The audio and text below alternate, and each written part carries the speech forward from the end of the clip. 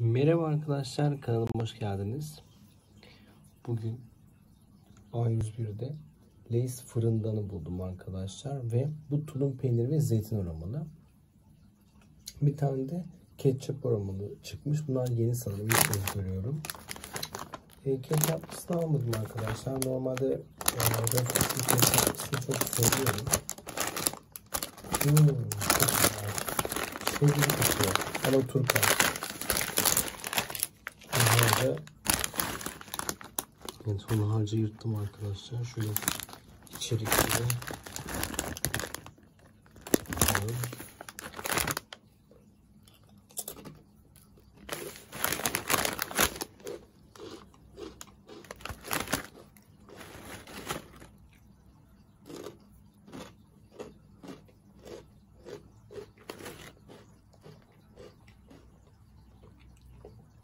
kokteyl domatesle ve labneyle harika gider arkadaşlar. Ben Alaturka'da da öyle yapıyordum. Beğendim ikisini güzel. Ketçaplısını almadım ama ketçaplısını da almayı düşündüm şu anda. Bakalım tadı nasıl ki kutunun bir de arkadaşlar üçte biri dolu bu arada. Yarısı bile değil.